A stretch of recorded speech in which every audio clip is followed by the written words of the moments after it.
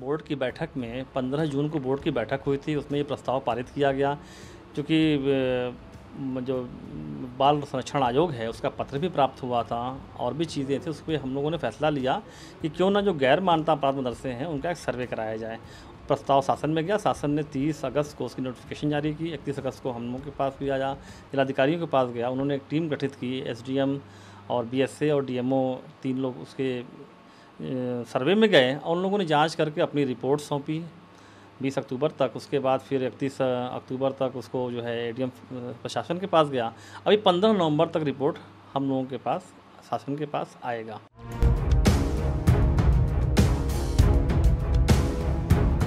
दारुल देवबंद के बारे में बोला गया कि वो मान्यता नहीं है तो मान्यता मदरसा बोर्ड से होना ज़रूरी नहीं है। उनकी खुद की अपनी मान्यता होनी चाहिए। जो उसका प्रोसीजर होगा मान्यता का अर्थ केवल मदरसा बोर्ड से मान्यता नहीं उनका जो और प्रोसीजर होगा मान्यता लेने का जो सरकार ने गाइडलाइन बनाई होगी उस हिसाब से मदरसे काम कर रहे होंगे। एक सौ छप्पन साल से कोई मदरसा काम कर रहा है देश के अंदर तो अचानक से इलीगल कैसे हो सकता है? इसको भी समझना चाहिए। तो मदरसा बोर्ड का जो हमारा जो नियमावली है उसमें भी साफ़ शब्दों में उन मदरसों का नाम लिखा हुआ है। ऐसे ऐसे। ऐसे कुल दस मदरसे ऐसे हैं जो कि हमारे समकक्ष हैं।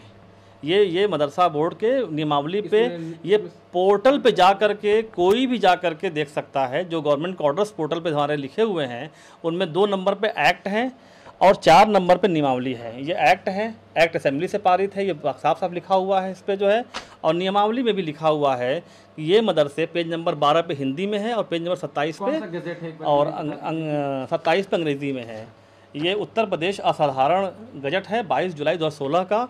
इसमें इन मदरसों का पूरा नाम लिखा हुआ है। दारुल देवबंद का नाम है नदवा का नाम है, और जो है मदरसा अशरफिया है बनारस में मदरसा जामिया सल्फिया है जमीतुल फलाह है, सुल्तान मदारिस है, और जो वहाँ रामपुर वाला मदरसा आलिया, इन सब मदरसों का नाम लिखा हुआ है, और साफ़ साफ़ शब्दों में लिखा हुआ है ये मदरसे की डिग्री जो है, ये मदरसा बोर्ड के समकक्ष समझी जाएगी। ये हमारे इक्विवेलेंट हैं तो इनको हमसे मान्यता की ज़रूरत नहीं है, ये खुद एक अपने में संस्था है और ये खुद मान्यता देते हैं। दारुल देवबंद के साढ़े चार हज़ार से ज़्यादा मदरसे पूरे देश में चल रहे हैं, लंबे समय से चल रहे हैं। और दूसरी बात कि दर्जनों यूनिवर्सिटीज़ इस देश की ऐसी हैं, जो दारुल देवबंद के बच्चे पढ़े होते हैं, उनका एडमिशन डायरेक्ट अपने यहाँ लेते हैं। जैसे अलीगढ़ मुस्लिम यूनिवर्सिटी लेती है, जामिया हमदर्द लेती है, जामिया मिलिया लेती है, उस्मानिया यूनिवर्सिटी लेती है, मौलाना कला मौलाना आज़ाद जो है, ओपन यूनिवर्सिटी जो है, उर्दू यूनिवर्सिटी जो है, वो लेती है, लखनऊ यूनिवर्सिटी लेती है, ऐसे दर्जनों बिहार का जो मजरूर यूनिवर्सिटी है, वो भी लेती है, बहुत सारी यूनिवर्सिटी, उनके वेबसाइट पर दारूम देवबंद का बाकायदा ज़िक्र है कि इनके बच्चों का एडमिशन यहाँ होता है।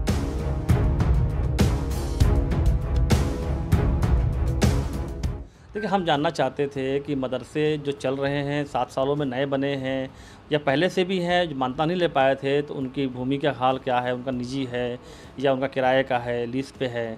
उसके अलावा उनका इंफ्रास्ट्रक्चर कैसा है, उनके यहाँ बिजली पानी की व्यवस्था कैसी है, उनके यहाँ बच्चे कितने हैं उनके यहाँ टीचर्स कितने हैं, वो कौन सा सिलेबस पढ़ा रहे हैं, कौन सा पाठ्यक्रम पढ़ा रहे हैं, इन चीज़ों के लिए सिंपल से ये डेटा कलेक्शन का काम था।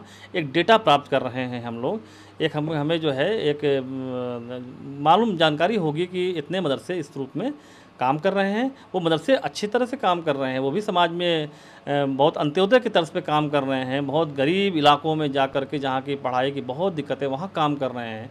उनमें से बहुत सारे मदरसे हमसे जुड़ना भी चाहते हैं बोर्ड से जुड़ना चाहते हैं।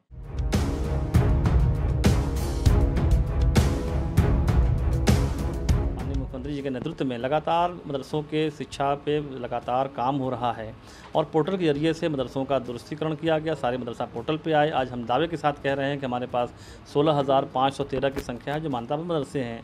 जिनमें पाँच साठ मदरसों को अनुदान मिलता है। अब छोटी छोटी चीज़ों पे मदरसों पे उंगलियाँ उठती हैं, बाल संरक्षण आयोग का भी पत्र आया, तमाम चीज़ें होती हैं तो हम लोगों ने फैसला लिया कि एक इसका सर्वे करा करके हम एक डेटा दें और ज़माना ट्रांसपेरेंट है, डिजिटल ज़माना है, हर चीज़ें ट्रांसपेरेंट इसी के साथ जो है, पोर्टल पर दर्ज हो जाए कि हमारे गैर मान्यता प्राप्त, जो हमारे बोर्ड से मान्यता प्राप्त नहीं है, वो कितने मदरसे ऐसे हैं। तो उसकी संख्या। लगभग साढ़े सात से आठ हज़ार के बीच में आने की संभावना है लेकिन अंतिम संख्या एग्जैक्ट फिगर वो पंद्रह नवंबर तक मिल पाएगी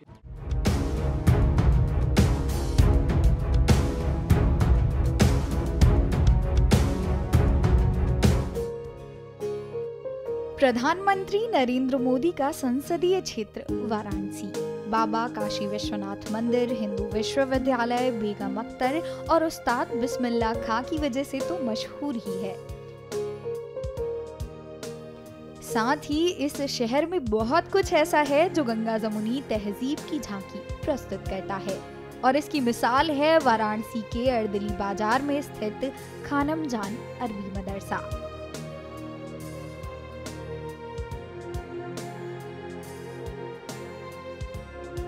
इस मदरसे के छात्र छात्राएँ उर्दू ही नहीं, संस्कृत में भी शिक्षा हासिल कर रही हैं।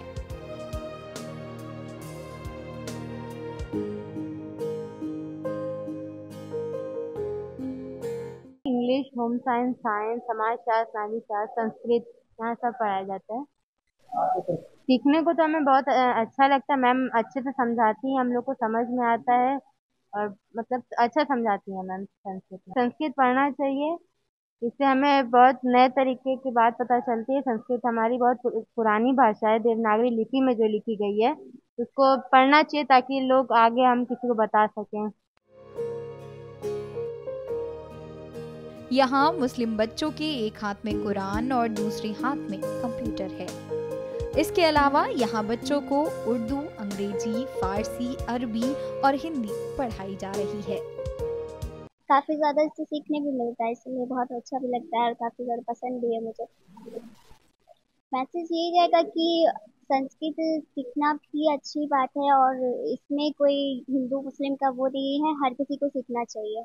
सर्वे भवंतु सुखिनम सर्वे संतु निर्मया, सर्वे भ्रादरी पश्यतु माँ कश्य दुख भागवत। संस्कृत पढ़ने में अच्छा लगता है, हमें भी अनेक और भाषा का ज्ञान प्राप्त करना चाहिए। संस्कृत भाषा में हमारे जैसे रामायण वगैरह, ये सभी संस्कृत भाषा में लिखी गई है। संस्कृत हमारी प्राचीन भाषा है देववाड़ी भाषा है, इसलिए हमको उसका ज्ञान प्राप्त करना चाहिए।